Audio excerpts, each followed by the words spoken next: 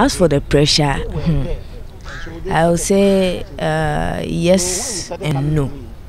Yes and no because um, you know sometimes like that. That's why I said something like Ghanaians should be should take it easy on us. You understand? Yes, because football you can't be perfect. Yeah, so sometimes like maybe when you miss a ball or something like that, you see the pressure from from the stand. Yeah, so they should take it easy on us and then so that we will relax to play our game.